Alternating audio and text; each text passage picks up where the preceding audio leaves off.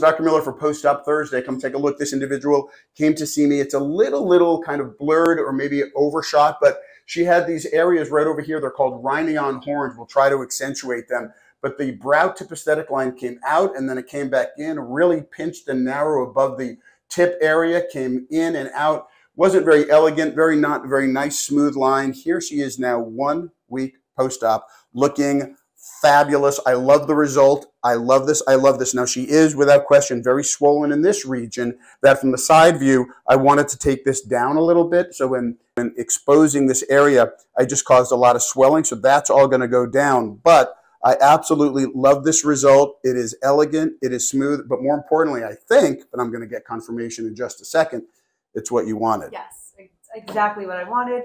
Um, I recommend Dr. Miller and his staff I love, I just love completely, uh, you know, speaking with you guys, working with you. And my fiance had his nose done many years ago, and I felt very comfortable watching his recovery. Um, and then, of course, my recovery was just the same. It was easy.